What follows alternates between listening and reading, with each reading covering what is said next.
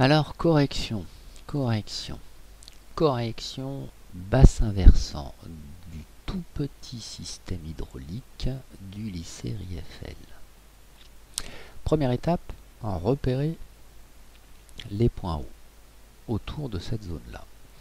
Alors, euh, il y en avait un que j'avais repéré, il était là, le 62.5, toc. Alors moi je vous conseille, dans les outils d'annotation, moi je vais prendre ces surfaces-là. Je les ai personnalisées, normalement c'est mauve. Je vais suivre très grossièrement dans cette zone-là, soit c'est rigoureusement plat et j'ai une altitude de 62,5, soit il y a peut-être un petit point haut qui se cache, mais on s'en moque un peu. Donc ça c'est un premier point haut et je pourrais prendre le niveau central. Alors comme je ne déborderai pas de mon trait rouge, je prendrai le point haut dans cette zone-là, à la limite de mon trait rouge. Bien. Après, j'en ai vu une ici. Là j'ai un point de 63 mètres. Donc ça c'est un truc pointillé là. Ça, ça doit être mon 62,5. Donc je m'en vais me le dessiner. Ça c'est 62,5 et donc à l'extérieur le 62 c'est logique. Alors moi et le 63 il est dedans.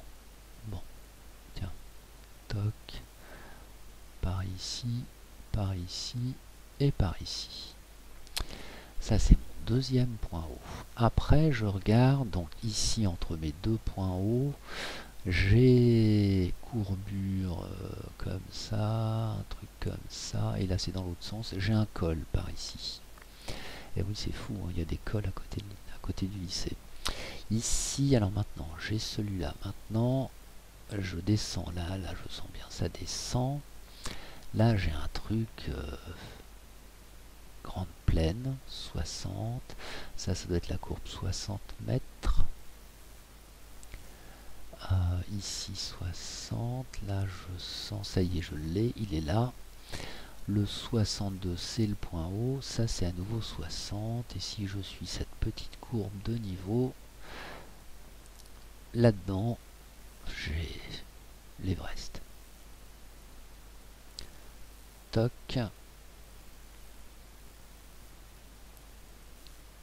Bon, là je vois pas trop ce que ça fait, je vais mettre les petites maisons la châterie. Alors ça c'est mon deuxième point Après je pars d'ici. Je veux enfermer ce truc là. Alors je descends. Là j'ai un col, ça ferait comme ça. Après là, mais je m'éloigne vraiment beaucoup. La courbure comme ça ici Ici, j'ai peut-être un point rouge. Je sais pas si c'est le bon. Mais je vais le mettre. Ça, c'est bien un truc fermé. Ok. Là, facile. 56.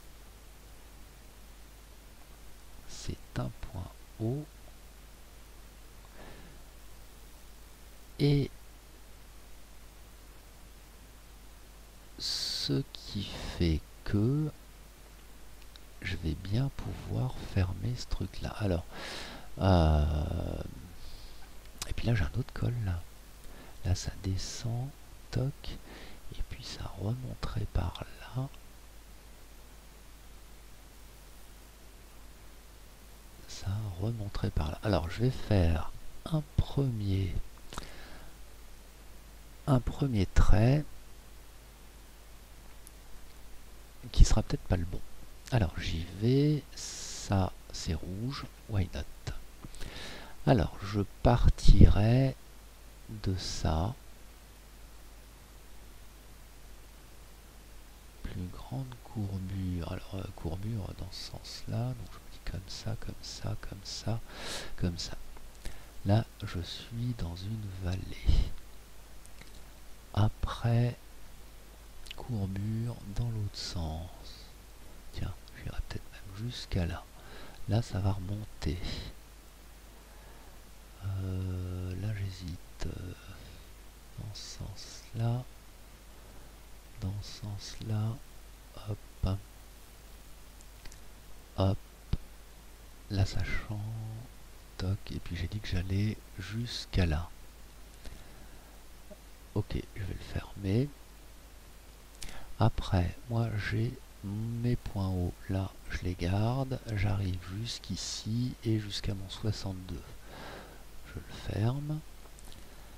J'en prends un autre, je pars de ce 62. J'arrive là, dans mon col. J'arrive bien ici. Et je le ferme. Et après, donc, il est où? Là, là j'ai un col. Donc je pense que si je ah, là, je pourrais tracer un trait qui partirait d'ici, qui ferait ça, ça. Alors, malheureusement, qui m'emmènerait sur ce point haut là. Alors, moi, j'irai bien par là, puis après, je vais prendre ces courbures. Non. Alors, j'aurais peut-être dû passer par là toc, toc, toc, toc. Là.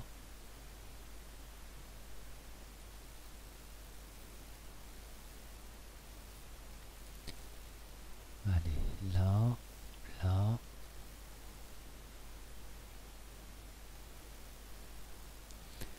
Bon, bah là, je vais directement là. Et je le ferme, et puis après d'ici, euh, moi je veux passer par là, donc euh, euh, toc, toc, toc, toc, toc, et après j'ai qu'à remonter, j'ai qu'à remonter. Ah, si, là. Bon, alors, ce qui me gêne, c'est que c'est un peu trop étendu par ici. Donc moi je me dis, cette ligne-là, si j'ai une goutte d'eau ici, c'est sûr qu'elle tombe perpendiculairement aux lignes de niveau, donc elle tombe par là. Et donc si moi je veux partir d'ici, eh ben je vais me faire les courbes perpendiculaires à mes lignes de niveau, comme ça. Donc euh, la perpendiculaire, c'est peut-être là. Je prendrai bien ce point-là. Et puis après, ben, je pense que je vais aller rejoindre ce point 60 d'ailleurs. Et après, je vais retrouver mon trait perpendiculaire avec une belle courbure et j'irai jusqu'à là. Alors, je supprime ce trait parce que si je, prends ma goutte d'eau ici, elle va plutôt tomber ici, donc trop bas par rapport à mon exutoire. Je vais supprimer ce trait là aussi. Pardon. Non, je vais le garder encore. Et ici, si je veux un tout petit exutoire, donc euh, si je prends ici, là je sens bien, ça doit plutôt passer comme ça.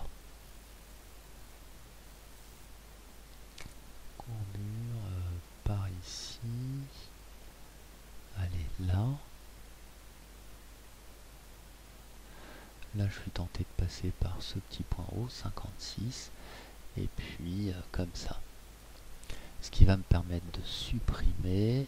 Alors, si je prends une goutte d'eau là, c'est sûr que je tombe plutôt par là, donc ça ne me concerne pas.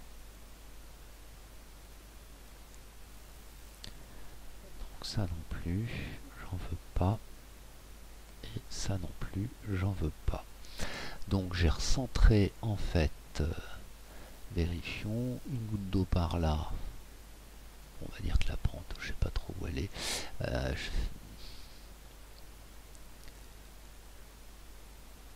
Et je vais aller. Je veux déplacer ce trait. Alors, je reprends l'outil trait. Non. Édition.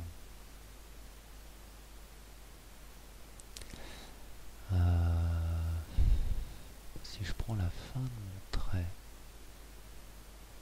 Oui. Alors maintenant, je peux l'avoir ici. J'essaierai quand même de me mettre plus comme ça. Une goutte d'eau perpendiculaire, glou, glou.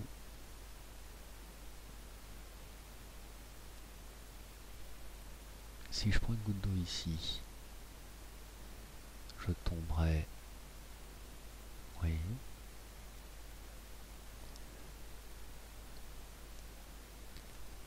Alors, perpendiculaire. Ouais, peut-être mieux comme ça. Une goutte d'eau là, perpendiculaire, clac, clac, clac. Ok, je, faut, faut essayer de les imaginer tomber. Une goutte d'eau ici, c'est sûr. Ça va là. Bien. Bon, bah, je ne sais pas ce qu'en pensera votre prof d'aménagement, mais là, donc, euh, j'ai un truc qui doit approximativement plutôt bien marcher. Euh, donc la séance suivante, hein, ce sera utiliser Google Earth pour, euh, pour faire un parcours virtuel autour du lycée RIFL.